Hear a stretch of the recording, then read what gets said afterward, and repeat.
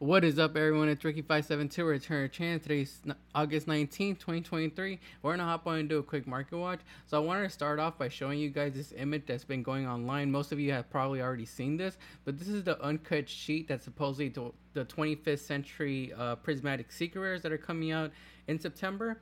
Uh, so yeah, I wanted to show you guys this. It's basically cards from like Battle of Chaos, uh, Dimension Force, uh, what was the other one? Tactical Masters? Was it Tactical Masters or, or something like that? What's that the Rite of Aramesir come in? That was Grand Creators. Grand Creators.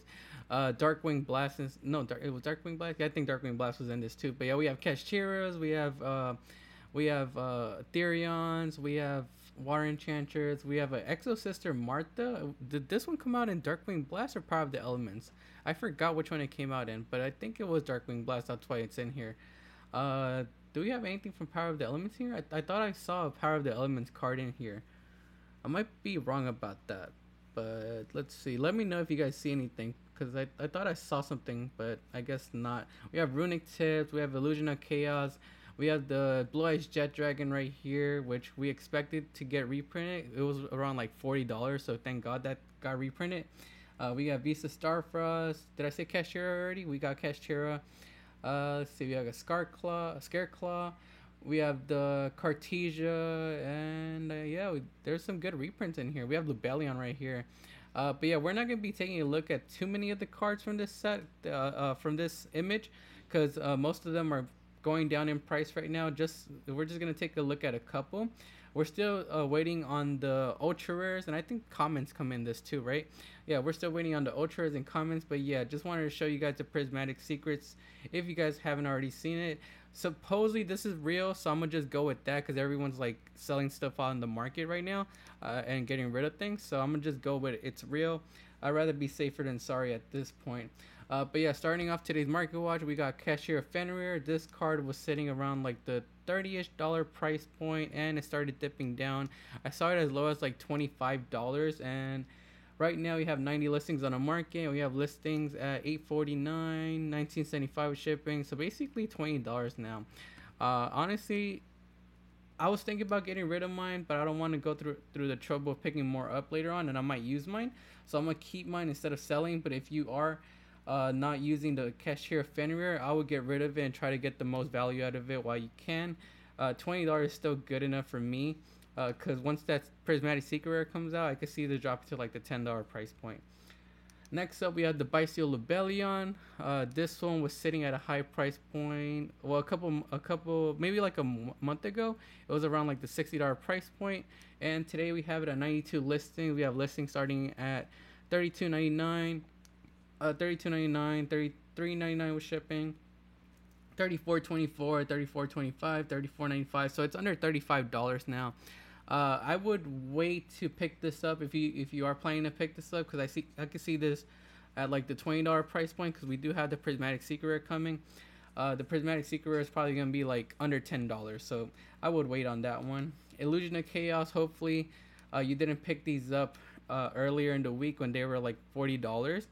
Uh, so these are 54 listings right now and have dropped down to the $22.99 price point, $23.50, $25.85, $25.99, and $26.78. So they basically dropped down to like half price. Uh, I would hold off on picking this up still because it's above $20 and the reprint's probably going to be like under $10. But yeah, let me know how you guys feel about the reprints. Do you guys think it's real? Uh, a lot of people are saying it is, so I'm going to just go with that, like I said. Uh, but yeah, let me know uh, what cards you guys are excited for from these reprints. Let me go back to it. Where's it at? Where is it at? Where is it at? Is it behind this? Nope, that's eBay. That's something else I was doing. Uh, yeah, let me know which one of these are you guys excited for, and let me know what you guys think are gonna be the ultra rare reprints and common printings from this set. Next up, we have a couple cards from Duelist Nexus that I've seen going up in price a little bit. So I saw that Dark Dark Corridor Dark World Searcher card has been going up a little bit. These were sitting under ten dollars a couple weeks ago. Well, about a week ago, because it just came out. And right now we have 36 listings on the market, so it's kind of going low on listings. And we have it at 1168, 1199, so reaching the $12 price point. Then once these $12 copies are gone, we hit the $14 price point at 1395, 1398, and that's basically 1399. So almost hitting that $14 price point. Uh, if you guys don't have this, I think it's a safe card to pick up because um, it only has one printing and it's probably not going to get a reprint until like next year's tins. So you do have some time to play with it, and it could only go up from here. I don't think it'll go down because it is a new Dark World card, and it does search. So if you guys don't have this, I will pick up my copies now before they go up even higher because they are going low on listings. Unchained Soul Lord of Yama, I think, is another good pickup from the Duelist Nexus set. It's been going up in price uh, since its release. It was around like $5. Right now, we have 52 listings on the market, and we have listings starting at 850 with shipping 883 884 887 890 so going up to that 90 dollar i mean nine dollar price point 895 on the first page and i only i think this card could um keep going up in price. I think you run two of these or maybe only one. Let me know down in the comments if you play Unchained. But the deck has been pretty consistent and has been topping events, so that's the reason I think it's a good pickup. If it continues to good, do good, this card will definitely uh, continue to go up in price. But uh, it's also a nice pickup just because you could splash the engine in different builds. I heard that people have been thinking about splashing it in Labrynth, so that's one of the things you could do uh, with the with the package. But let me know down in the comments down below how you guys feel about Unchained Soul Lord of Yama. Chimera, the King of Phantom Beasts, is the other card I wanted to talk about from Duelist Nexus that has been going up in price, and I think this is the second most expensive card aside from like the quarter century rares, because we do have Revolution Synchron uh, at uh, being the secret rare at like 60 ish dollars, and then we have this one being the runner up at like twenty dollars. But I think this card could go up even higher in price because we are still missing one fusion monster for the Chimera package that's coming out in Age of Overlord. So I think the closer we get to that set, this card is going to uh, go up in price even higher uh, when we get closer to that release. Uh, but we have this card right now 16 listings it was selling for like around 13 15 dollars i did pick some up around like the 13 15 dollar price point but right now we have them at 21.61 with shipping 21.95 21.97 so basically 22 dollars 21.99 21.99 and yeah basically 22 23 dollars for this card now. And it could go up pretty easily because we have no big walls on the first page here. So i would say pick up your copies now before they go up even higher. And this card has been seeing a lot of play in branded builds but i think it could be splashing more more um, other other archetypes other decks uh, just aside from like just branded.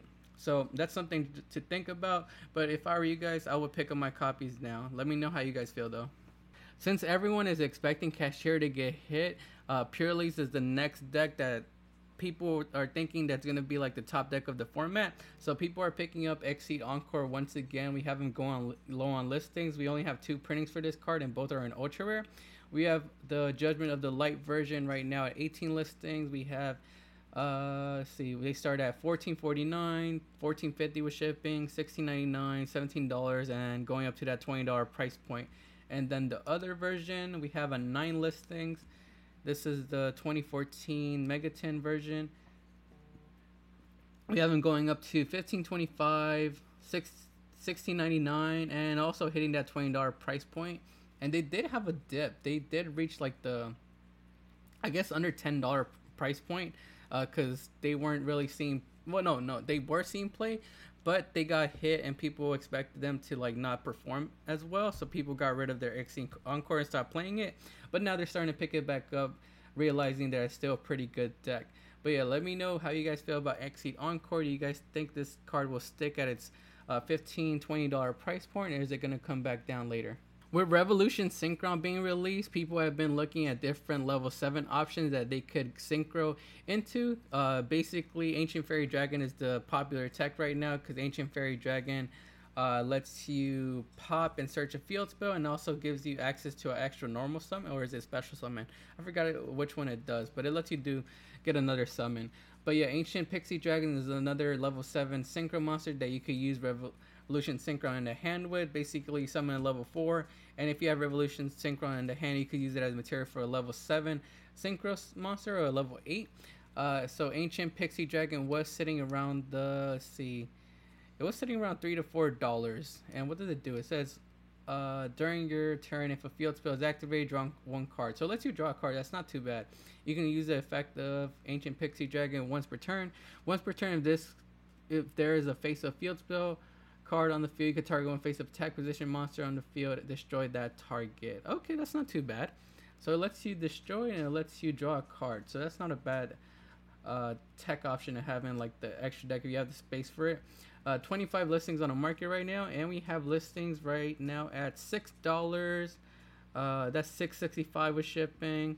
That's seven dollars. Then they go up to 825. So yeah, they are starting to go up a little bit higher. Uh, they were at like four to five dollars. So it's just a tech that people have been looking at. Triple Tactics Thrust isn't getting a reprint until like next year, so I can see this card going up in the next couple months. We do still have like YCSs and regionals coming up, so people are gonna pick this card up to play at events.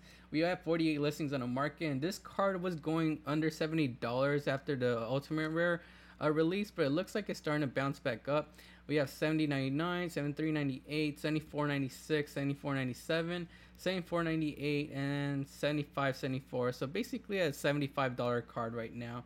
But yeah, let me know how you guys feel about Triple Tactics Thrust. Are you guys going to be picking this up or are you guys going to be staying away from it? Droll and Lock Bird has a couple printings, but I wanted to focus on the Tactical Masters printing. It's a rare and it just came out. This card was sitting at like a dollar fifty on release, and hopefully you guys picked up your copies then. Uh, they did have a slight increase to like the three dollar price point, but over the past month they've been going up even higher. And I think that's because people have been choosing to play Droll and Lock Bird over Ash Blossom this format because it's more impactful. We have 45 listings on the market, and basically we have them sitting at uh, 538 with shipping, 540 with shipping. 542 with shipping and that's 550 with shipping five dollars and 70 so almost hitting the seven it's a six dollar price point. It's between five to seven dollars now. Hopefully this does get a reprint in the 25th century Tin because it is from tactical masters and tactical masters does have a uh, is listed to be reprint, reprinted in the 25th century tins that you got as you guys saw from the picture I showed you guys we do have Runick Tip in there. We did have fountain and other cards from there. So hopefully this card gets like a common printing in that set. But if it doesn't then we're gonna be stuck with having to pay the five to six dollar price point for these rare uh Droll and Lock Birds because after that we have commons for like six to seven dollars rare another copy another rare copy from star strike blast at like six seven dollars. Then we have premium gold at like eight nine dollars. Ultra rare is going up even higher than that and super rares too.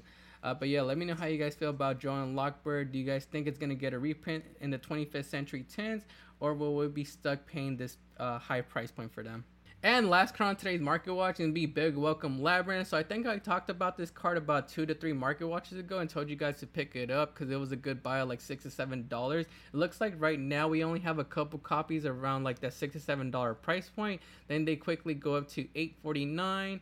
Uh, and then they hit 868 right here on the first page. So if you guys don't have your copies of this yet, I think it's still a good pickup because I can see this card reaching the 15 to 20 dollar price point. Since a lot of the other Labrynth cards are getting reprinted in the 25th century tins, and this card isn't gonna get a reprint until like probably next year.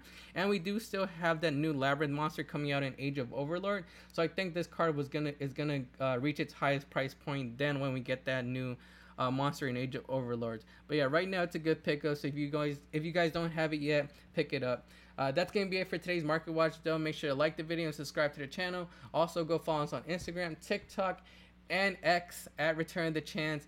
This is Ricky572. We'll see you guys next time.